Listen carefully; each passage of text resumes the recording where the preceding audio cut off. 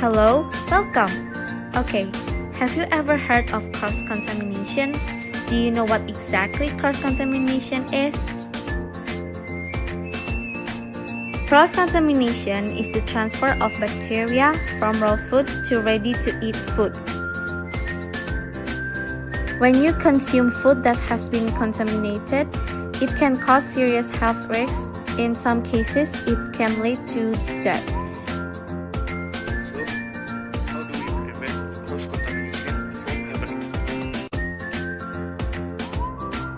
Should always separate raw food and ready to eat food.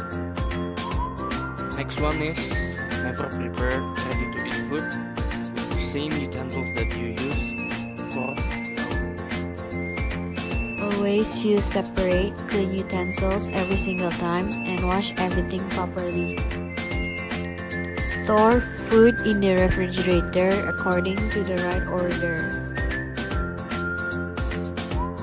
Remember, your personal hygiene has to be on point, like clean hands, properly tucked in your hair, cover all wounds, and many